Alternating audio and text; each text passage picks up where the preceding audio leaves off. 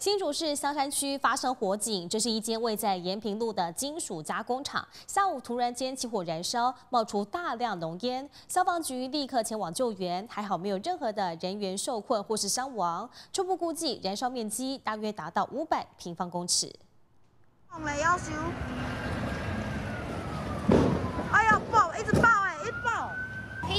大片浓烟笼罩高空，放眼望去黑茫茫，不时还会发出噼里啪啦声响，吓坏附近民众。围起来了啦，围了，这一定要围啊！那它围起来爆破物，孩子爆。橘红色火光吞噬铁皮屋，爆炸声响不断，路过的民众能躲多远就躲多远。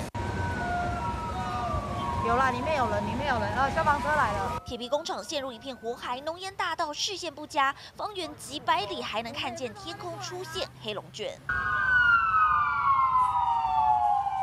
消防车火速到场。八号下午四点多，新竹市香山区延平二路一处工厂发生三起火警，燃烧面积约五百平方公尺。因为是金属加工厂铁皮屋结构，火舌迅速窜起。哦，伊个是讲加工木头烧起来，到底安怎烧咱是毋知，是伊见讲是咧加工木头。对啊，啊，阮就是惊，毋才早来甲看嘛，讲刚在。我伫遐，我是讲伫遮进来甲看嘛。